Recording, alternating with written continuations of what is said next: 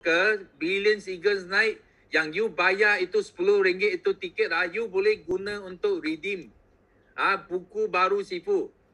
Satu juta bukan wang ah nanti you boleh redeem itu RM10 lah you boleh uh, apa redeem uh, dengan pembelian buku ini. Okay, so Sifu cuba bagi ya semua yang attend uh, annual recognition ini ya paling awal ia akan dapat buku ini. Maksudnya Sifu cuba dapatkan buku buku ini ya dari publisher sebelum dia launching dekat popular bookstore. Ah, so siapa nak buku ini? Bagi Sifu dua. Siapa nak buku ini? Bagi Sifu dua. Ah, you mau dapat yang paling awal tau. Sebelum popular bookstore ah ada jual you orang sudah dapat dalam tangan kamu.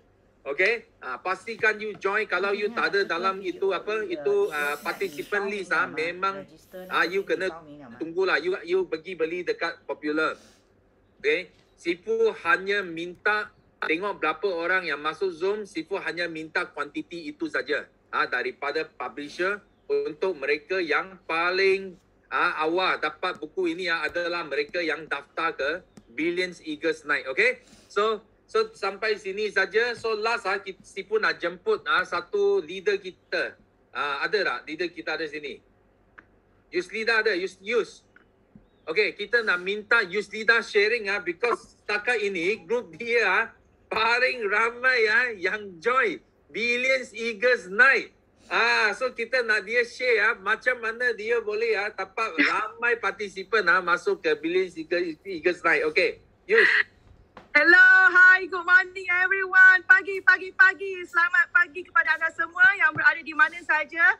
Okay, so uh, first of all, Kak Yus nak ucapkan uh, jutaan tanya kepada mereka yang dah join eh.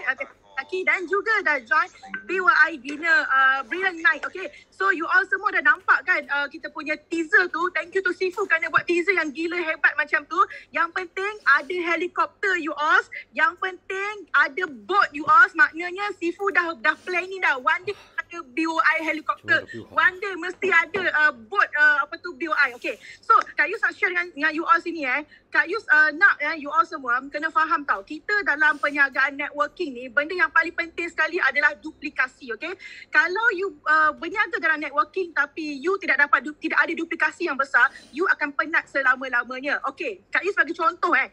Kita kat dalam networking ni, okay, pada sesiapa yang dah dapat income 4 angka, 5 angka, okay, kita ambil contoh yang dah 5 angka, 4 angka lah eh you dapat income 4 angka, okay, you kerja daripada pagi sampai malam. Tak you tahu korang pergi sharing daripada pagi sampai ke malam kan. Penat tak? You all bagi tahu tak? Penat tak? Penat kan? Tapi you all dapat 4 angka, 5 angka. So you dah dapat bebas masa, betul tak? So you dah dapat bebas masa. Sekarang ni, kita zaman adalah apa tau? You kena faham. Kita dekat Forever, kita bukan sahaja ada bebas masa, uh, bebas kewangan. Tapi kita nak bebas masa. Nak bebas masa, korang kena jadikan downline-downline korang ni macam korang. So macam mana jadikan downline ni macam korang adalah dengan bawa dia pull mereka masuk dalam semua kelas. Bukan sahaja event besar tapi kelas kecil, kelas uh, training apa semua kena bawa masuk. Sebab apa? Apabila korang semua berjaya jadikan korang punya team tu macam korang, korang dengar cakap Kak Yus, korang semua akan dapat angka tapi satu hari kerja satu jam saja. Best tak?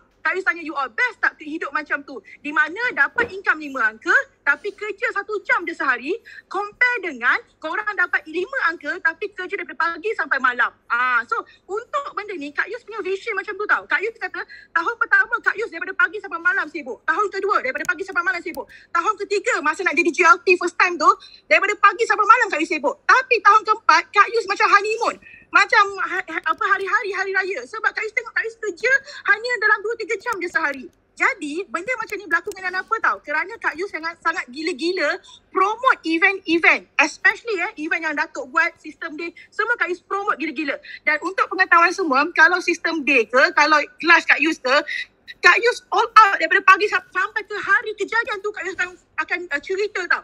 Okay, baru-baru ni kan, uh, Kak Yus nampak lah eh, Sifu ada bagi tiket kepada PCM apa semua tu kan. Kak Yus dapat 20 tau. Uh, so masa tu Kak Yus kata tak cukup ni. Kak Yus masa tu, Kak Yus belum open kepada sesiapa lagi dalam tim Kak Yus. Kak Yus dah kata, Sifu, I mau 40. Padahal masa tu, belum lagi dapat, eh, belum lagi dapat uh, orang nak join tau. Korang tahu tak? Tapi Kak Yus punya bayangan, Sifu, I mau 40. Padahal tak ada list lagi tau. Tak ada list. Dan Kak Yus tak bagi tahu pun uh, orang lain uh,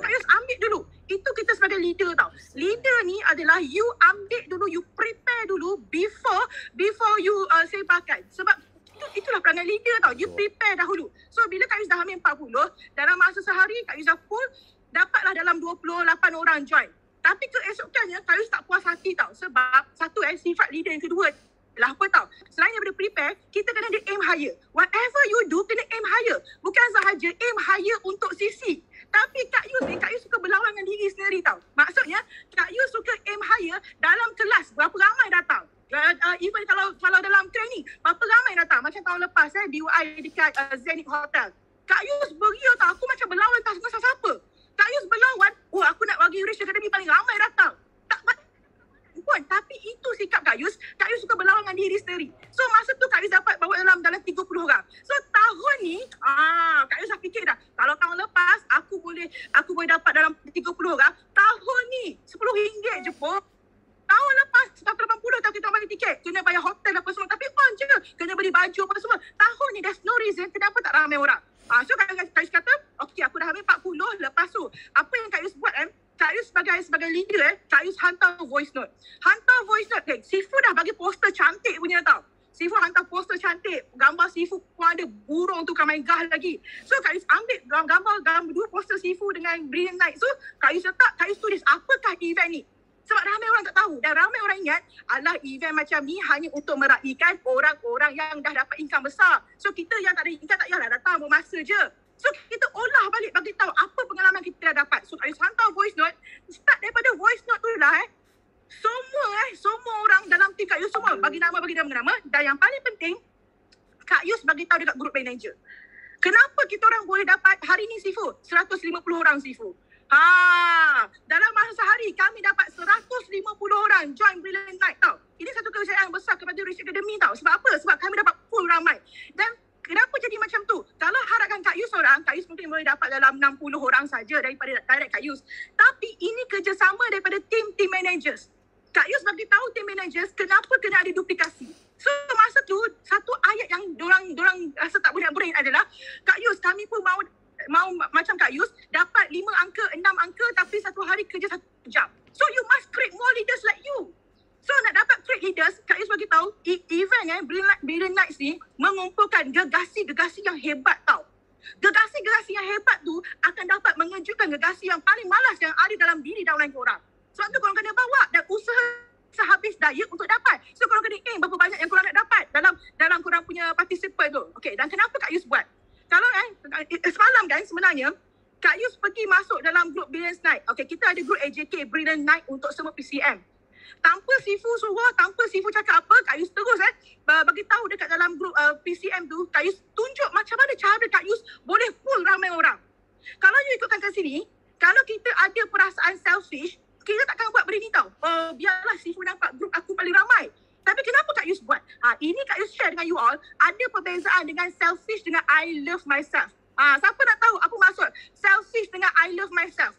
Okay, tiga benda ni eh, semalam Kak Yus buat meeting dengan tim Kak Yus, benda ni buatkan tim Kak Yus berubah tau. Kak Yus happy sangat tengok tim Kak Yus berubah sekarang. Okay, di antara eh, perbezaan selfish dan I love myself. Okay, selfish ni, dia buat sesuatu untuk kepentingan diri dia saja. Maksudnya whatever yang dia buat adalah untuk diri dia. Okay, macam semalam.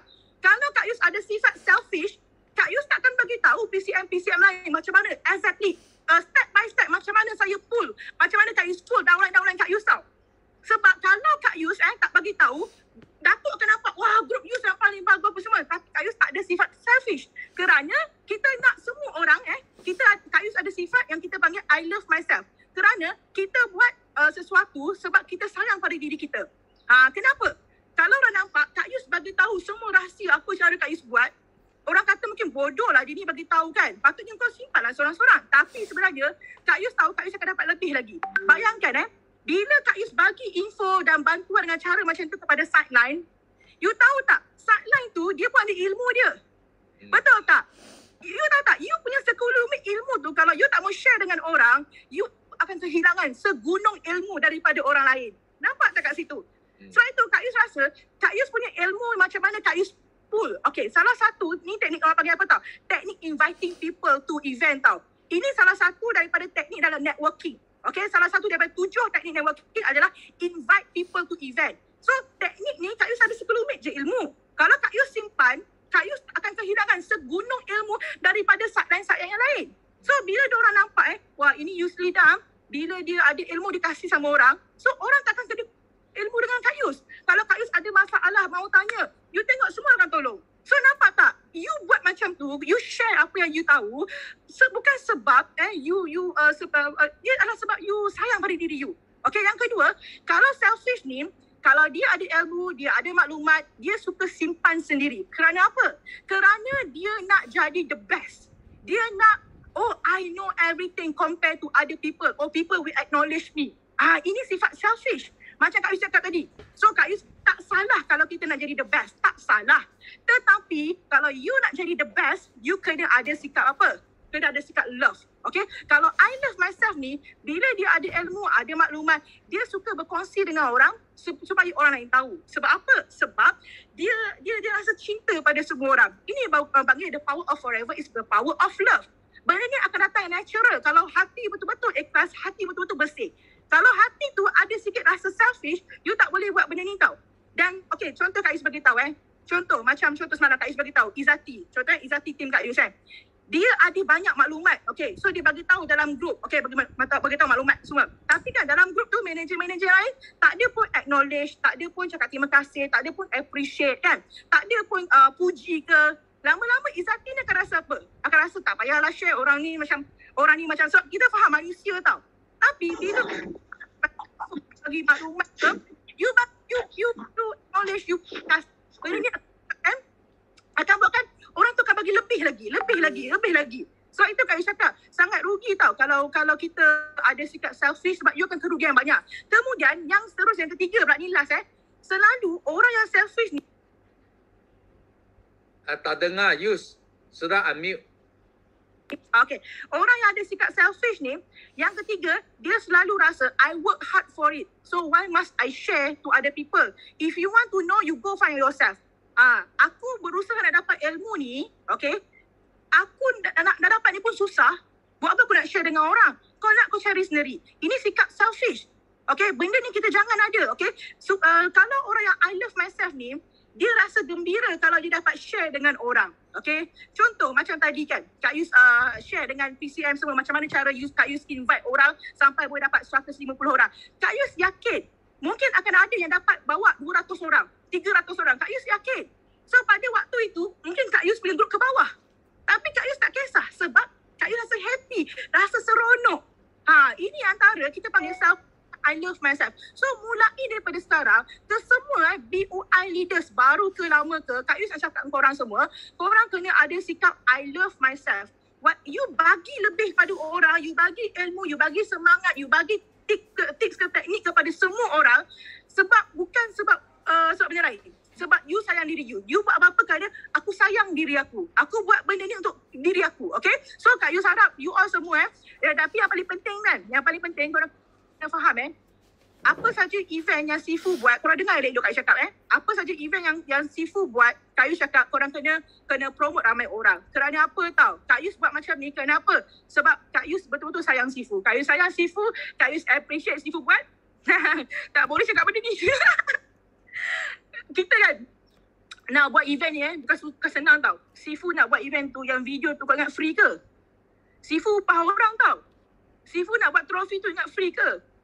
Sifu uh, minta RM10 saja tau. RM10 dan boleh reading buku lagi.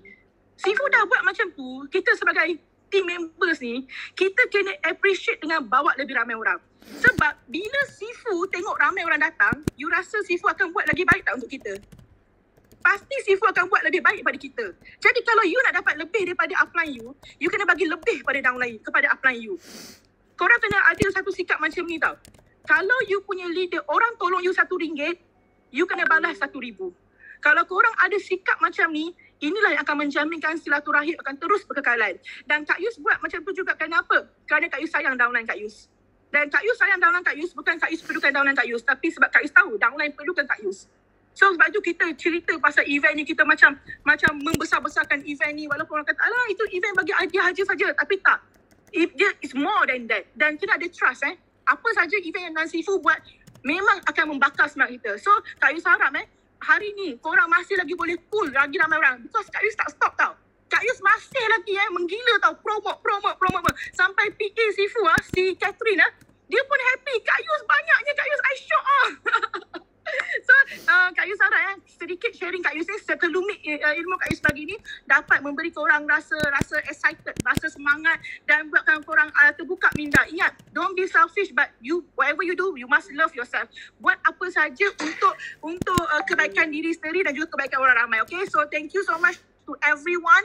Okay, uh, Kak Yus harap semua berjaya dunia akhirat dan uh, just fokus eh, lagi 8 hari. 8 hari untuk uh, dinner tapi 8 hari juga for closing. Bulan puasa bermakna sisi kena meletup. Macam mana bulan lepas kita hebat, bulan ni kena hebat.